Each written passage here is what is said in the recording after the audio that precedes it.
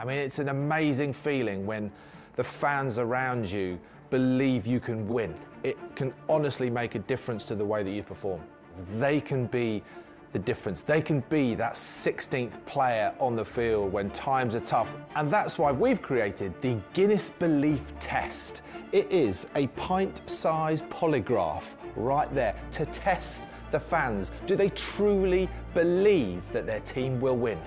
Scotland, do you think that they can pick up the trophy in Japan? Absolutely. Oh!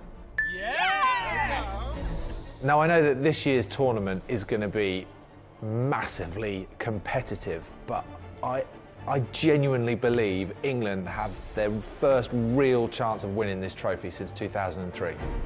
Oh my goodness me, I need more belief. I believe.